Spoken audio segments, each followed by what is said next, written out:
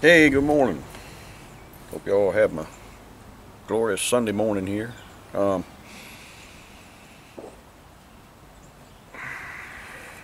things are getting right terrible in the world. the good book says that uh, things will be like they were in the time of Noah when uh, the Lord returns. The book says Jesus is going to come back and uh, take us who are his children, his adopted children, those who believe on him out of this world and then will come a terrible time of tribulation. Unlike anything the world has ever known and the world has seen some pretty hard times so it's going to be pretty rough. So I don't want to be here to experience it. But uh, I wanted to look at a passage back in uh, Genesis. Let's see.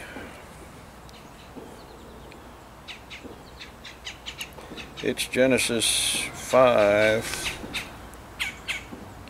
verse 24.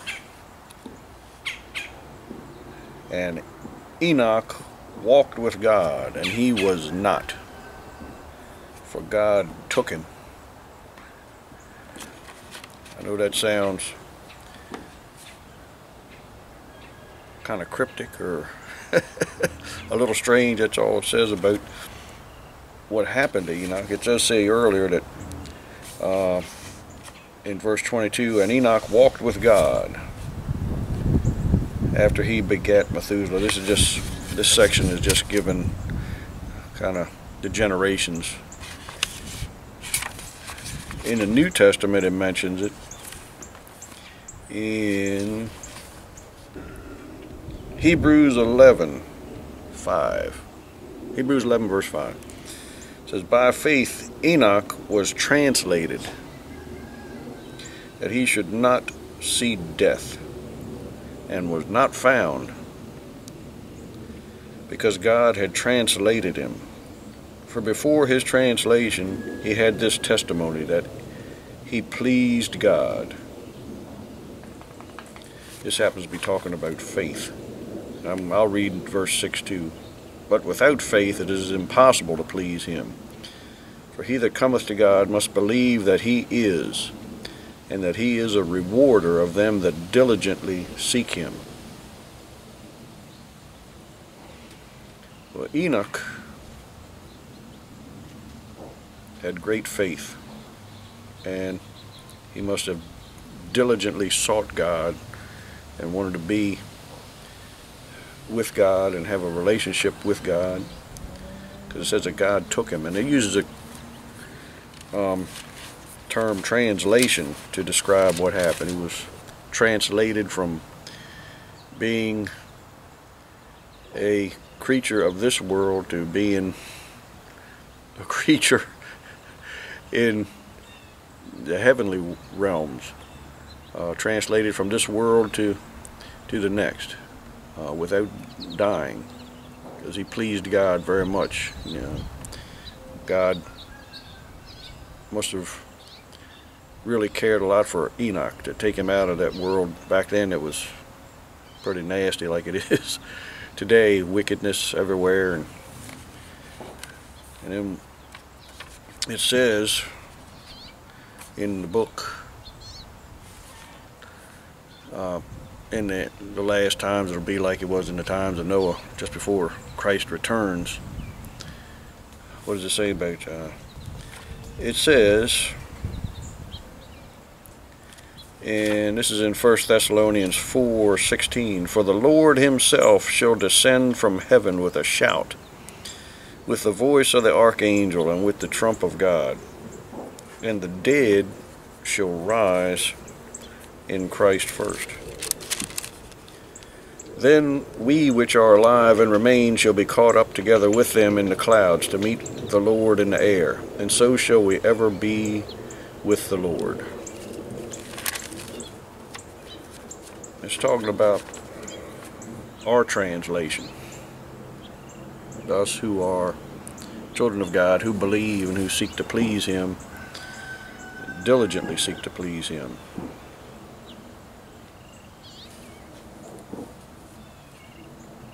It's interesting that they use the term translation.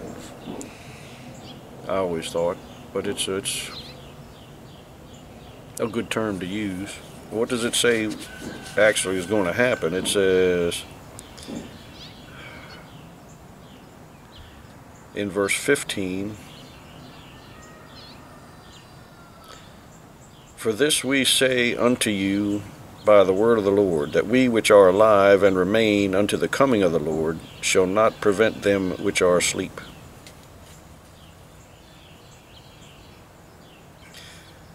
then it goes on to say, The Lord himself shall descend from heaven with the voice of the archangel, and the dead in Christ shall rise first, and then we which are alive and remain shall be caught up together with them.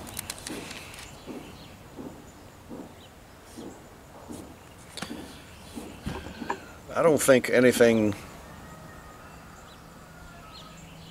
in the history of our world else needs to happen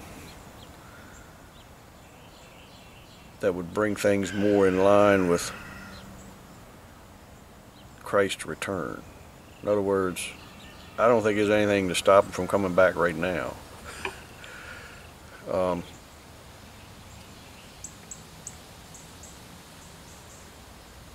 he wants to come back and take his children out of this world and then bring judgment on the earth for those who rejected him those who didn't want to receive his free gift of salvation. I'm not making any predictions. Well, this what I'm talking about is what we call nowadays the rapture, just being caught up. Um, you don't like the term rapture, some people say rapture isn't in, in the Bible nowhere, but being caught up, being translated is. um, when the Lord returns and takes us out of here and bring judgment on the earth. You can read about it in the book of Revelation. It ain't pretty. Gosh, man, there's going to be some terrible stuff going on. I don't want to be around. Um, I'm just saying, I'm not making any predictions that's going to happen soon. I'm just saying it could. I don't think there's anything stopping it other than the Lord's being merciful and wants to make sure everybody has the opportunity to accept his free gift of salvation through Christ's death on the cross and resurrection, through his shed blood. Um, but I wouldn't be I wouldn't be loafing around if you're giving it some thought. I wouldn't be putting it off. Uh, it'd be a terrible thing if you say, well, I got something I want to do today, tomorrow I'll I'll dedicate my life to him and accept the free gift. But today I got something else to do, and then next thing you know, the rapture happens and it's too late, and you got to go through the tribulation. Trouble is, if some people in their flawed reasoning think that they will just go ahead and turn to him during the tribulation, God said He will give strong delusion cause people to believe a lie. Those that rejected him and waited too long, and they will believe the lie of the Antichrist and they will worship the beast, thinking they're worshiping God. They'll be fooled. Burn in hell forever. So I always seem to get around to that again, don't I? don't mean to, it just comes out. But anyhow, I hope it's uh, there's something a little interesting for you to think about today. Hope you all have a a great Sunday and uh, think about what I said. Think about what the book says, not what I say. Think about what the book says and uh, read the last book in uh, the Bible. Read Revelation and uh, I don't think you want to go through that. If it ain't enough to make you get down on your knees now, I don't know what would. Anyhow, we'll catch you next time. See you.